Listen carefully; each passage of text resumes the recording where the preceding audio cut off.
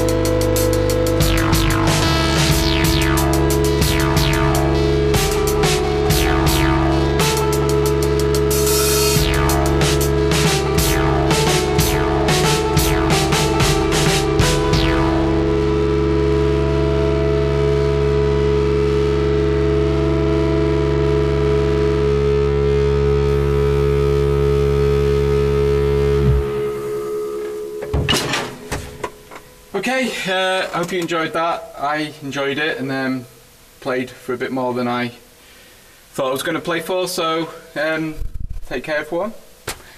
Hope you have a nice uh, night. Take care.